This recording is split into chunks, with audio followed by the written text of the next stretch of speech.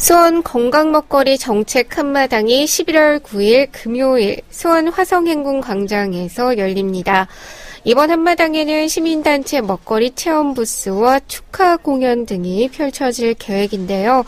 특히 오후 2시 반부터는 유명 요리사인 이원일 셰프의 요리쇼가 열릴 예정으로 시민들의 기대를 모으고 있습니다. 시민과 함께하는 안심 먹거리 도시 정착을 위한 건강 먹거리 정책 한마당에 시민 여러분의 많은 참여 바랍니다. 11월 10일 토요일에는 동물을 사랑하는 분들이 좋아할 만한 축제가 개최됩니다. 바로 2018 수원 반려동물 한마음 축제인데요. 권성구청 앞 대부득공원에서 열리는 축제에 반려동물과 함께 참여하셔서 즐거운 시간 보내보시기 바랍니다.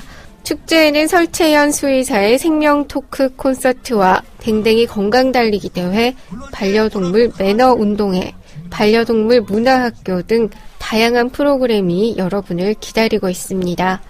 2018 수원 반려동물 한마음 축제에 대한 자세한 정보는 블로그 댕댕아 모여라를 참고하시기 바랍니다.